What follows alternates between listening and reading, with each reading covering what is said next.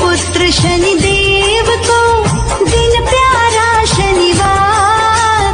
काले तिल का भोग लगे, चढ़े तेल की धार।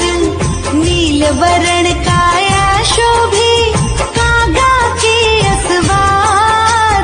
दयावंत परमात्मा, सृष्टि के सरकार। शनिदेव।